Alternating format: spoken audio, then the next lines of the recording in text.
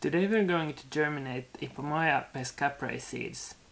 Ipomoea pes-caprae is also known as goat's foot, bay hops, beach morning glory and railroad vine. Ipomoea pes-caprae is a pantropical wine that grows on sandy beaches. Its seeds are spread by the sea and they grow everywhere they land. But this seed is actually quite tough, so I'm going to scarify it a little bit and we'll see if we can germinate some.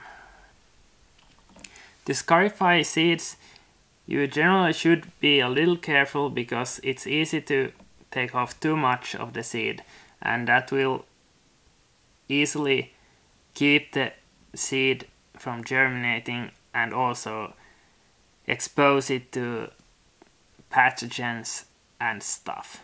So seed sandpaper.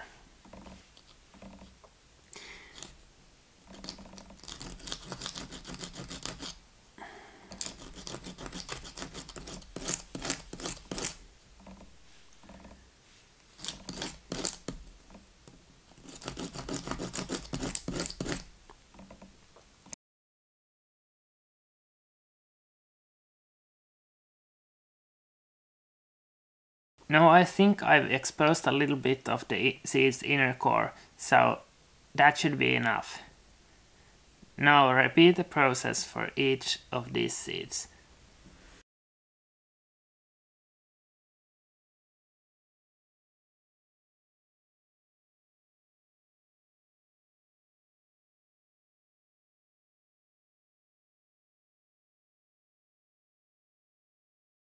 When you're done scarifying your seeds, it's time to soak them.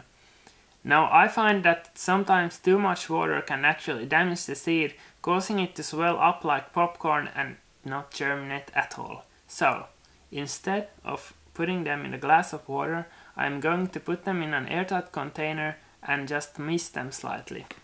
I have my airtight container here and I'm just going to put the seeds inside. Then I'm going to mist them slightly with water and let's hope that works.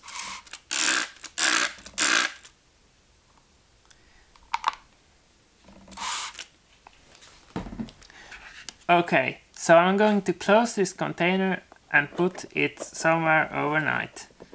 Just so the seeds can soak up some water but not too much. So it's day two, let's see what happened to the seeds. Let's open this. Oh! Remember when I said something about popcorn? This is actually what I meant. Okay, so as you can see the seeds have swollen up quite nicely. This is even a little too much, but I hope the seeds are still viable. Time to sow the seeds. This is the container I'll be using. I'm filling the container with seedling soil mix. You don't have to have a thick layer of it, just this should this should be enough. I'm just placing the seeds lightly on the surface.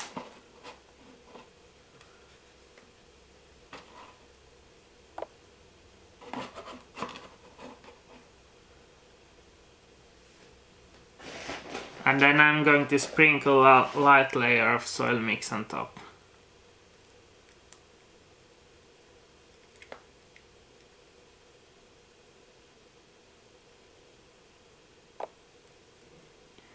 Okay, that should be enough. Now let's water it a little bit.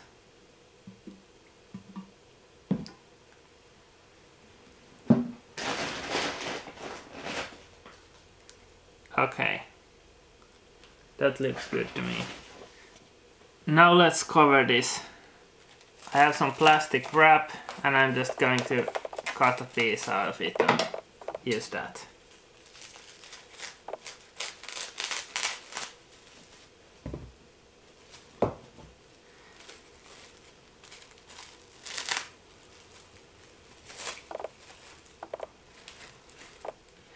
Okay, using a rubber band to close it.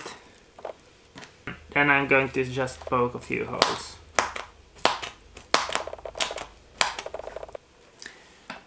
All done. Now it's time to wait until the seeds germinate, if they do. Let's hope so.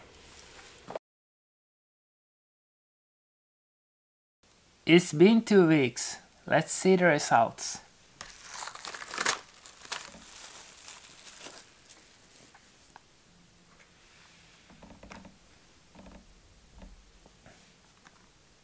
As you can see, 5 out of 5.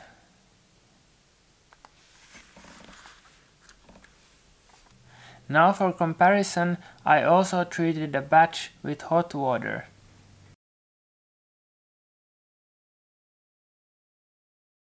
Let's see how it compares.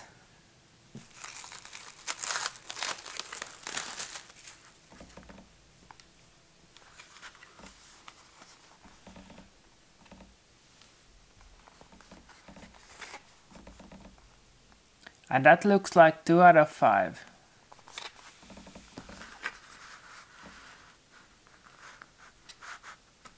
So comparing these two, it clearly seems to me that scarifying is the way to go. And that's how you germinate Ipomoea pes-caprae seeds. Bye.